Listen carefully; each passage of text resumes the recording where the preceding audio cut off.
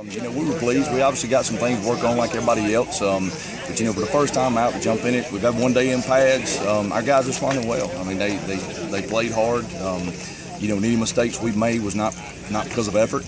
Um, you know, and that's all you can ask at this point. You know, I think we feel like we're in pretty good shape. And, um, and you know, we just, we're real pleased on both sides of the ball with how we played. Ran the ball well. Yeah, Very we well, did. yeah. Um, you know, Isaiah and, and Isaiah, you know, they uh, and, and Josh Russell, those guys are going, uh, you know, they're going to give us that in the backfield. You know, Isaiah's done a good job of, uh, of giving us the leadership and giving us the uh, um, the dual threat in the backfield. And you know, he's just one more thing that people have to account for. And um, you know, he did a good job running the offense tonight.